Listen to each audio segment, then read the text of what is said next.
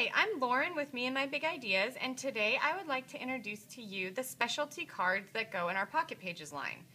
We have six different packs of specialty cards that have 36 cards in each pack, and each card has foil and glitter on it.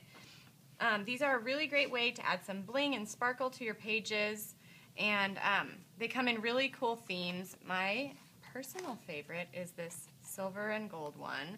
And um, each package has all the designs shown on the back, and there's four different specialties in each one. So different color foils, different color glitters. I love using this one for kids. And um, this one has more designery colors.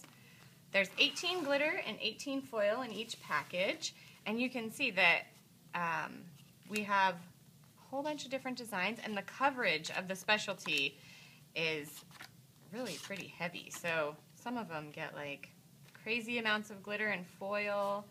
There's patterns and sayings.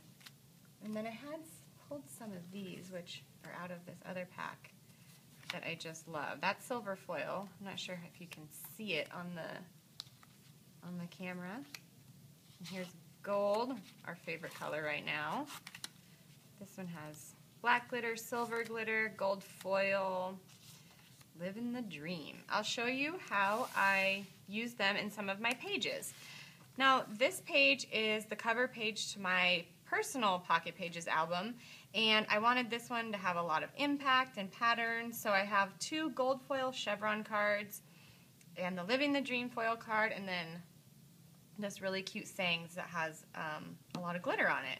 So this one's kind of like bling decked out, and then this is another page from my album that just has one card that has glitter on it. So you can use them definitely however many or few you want. This one is definitely for a glitter lover.